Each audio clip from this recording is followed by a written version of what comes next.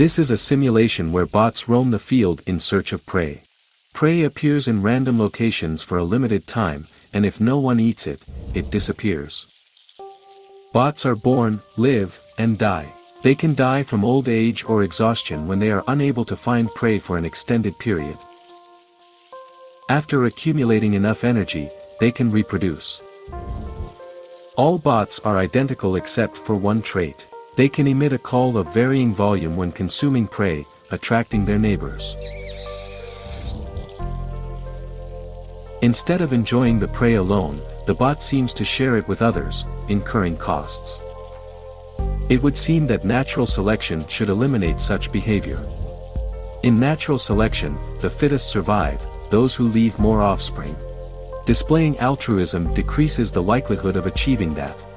However, sometimes altruistic behavior becomes embedded in the genome. This is exactly what we will try to model today.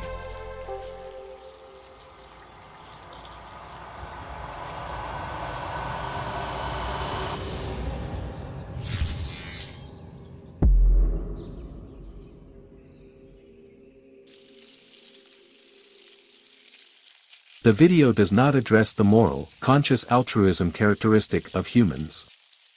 Human altruism is a phenomenon of a higher order. The video shows altruistic behaviors in organisms devoid of thought, acting purely on instinct. In this simulation, I will attempt to recreate conditions where altruistic behavior is naturally fixed in the genome. A brief overview of the simulation setup. The world is populated by bots. A bot's size indicates the amount of energy it has accumulated. Each turn, a bot's energy decreases by one unit. In the absence of prey, bots try to maintain a distance from each other. Prey appears in small groups at random locations and eventually disappears over time. A bot can only detect prey within a short radius. When it spots prey, it is marked with a black circle. As the bot approaches the prey, it consumes it, increasing its energy. During this process, the bot emits a call, informing its neighbors to the presence of prey. The volume of the call is genetically determined. The reach of a particular bot's call can be inferred from its color. I use the following gradient.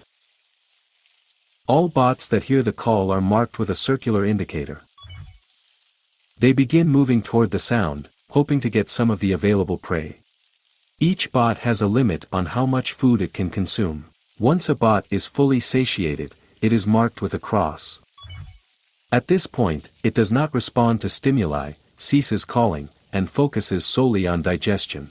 If a bot has enough energy for reproduction, if sufficient time has passed since it produced its previous offspring, and if it has already digested its last meal, the bot reproduces. These last two rules are crucial for the simulation, and we will return to them later. An offspring inherits the gene for calling from its parent, however, with a small probability, the value of this gene may change slightly. This initiates natural selection. We can only observe how the gene value changes in the population over time and under different conditions.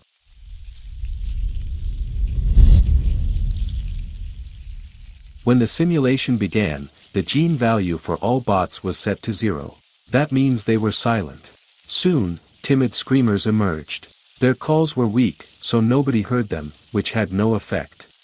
Over time, though, bots capable of calling out to their neighbors started to appear. These are the first altruists, willing to share their resources with their neighbors.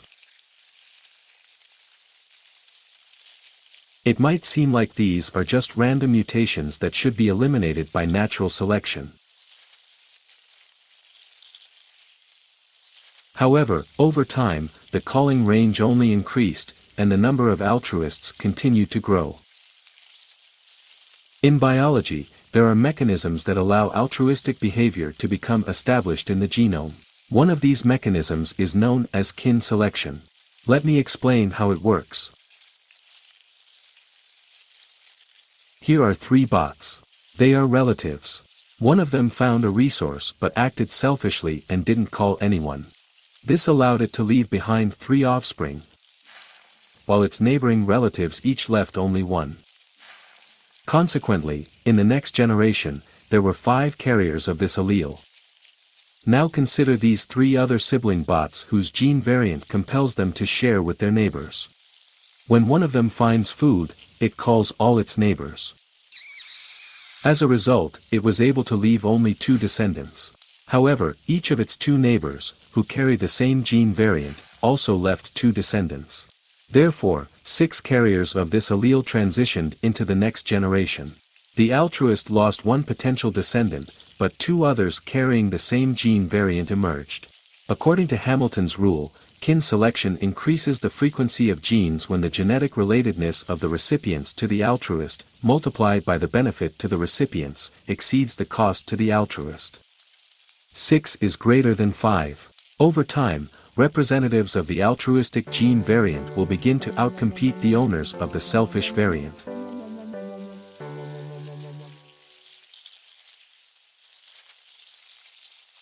For this to work, organisms must either be able to distinguish their relatives, or the environmental conditions must lead to a higher probability of being near relatives. In this simulation, the latter option is naturally realized. If you observe closely, you can see that bots with other gene variants also come running to the call, but statistically, those carrying the same variant are more frequently nearby. Under these conditions, the gene variant that compels screaming at a distance of 70 pixels gains the maximum advantage. This is the gene that creates more of its copies in the next generation. If we look at the big picture, we can see a division has occurred. At different ends of the map, there are bots with different gene variants. This results in something akin to group selection. For the egoists, the prey often goes unused. The prey disappears without waiting to be consumed.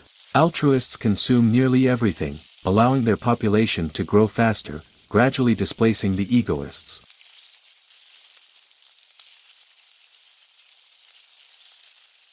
For a long time, nothing changed, so it was time to introduce some minor adjustments. Now, the prey will yield twice as much energy and will appear on the field roughly half as often.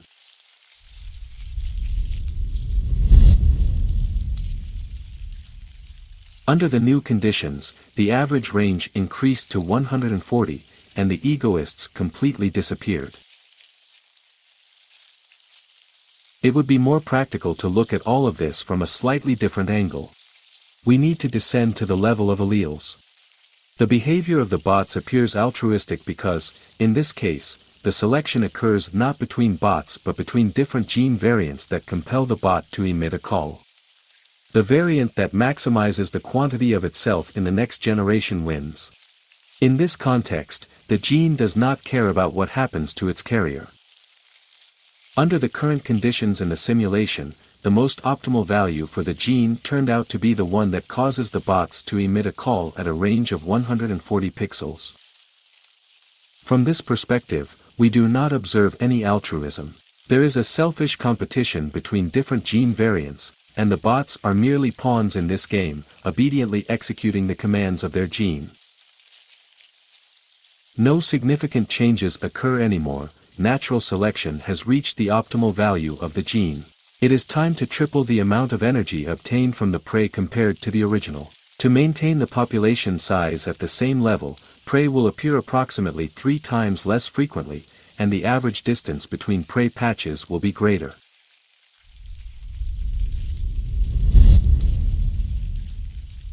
Under these conditions, the distance of the call increased neither swiftly nor confidently. Eventually, the average distance rose to 170. There is no point in calling louder, as bots from a distance cannot arrive in time, and the prey has already been consumed or disappeared on its own.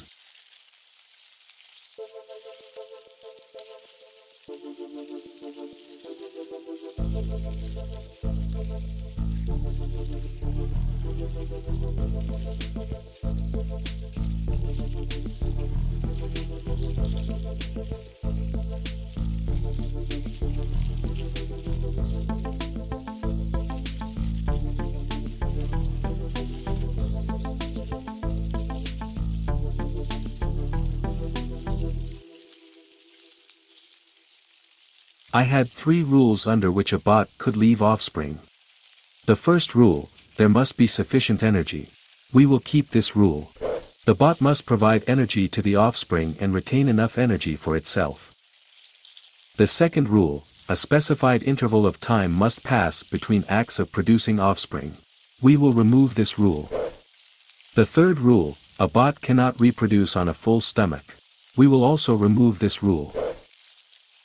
The last two rules were necessary to prevent uncontrolled reproduction when a bot encountered prey. Now we have lifted this restriction.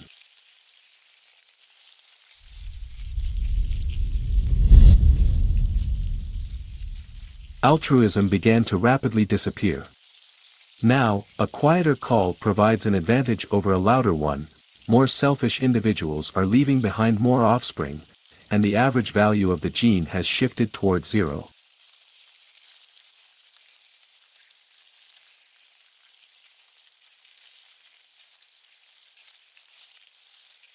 This is easily explained. Now, the only bot that finds prey, thanks to accelerated reproduction, can consume everything by itself along with its direct descendants. Let's examine a few examples.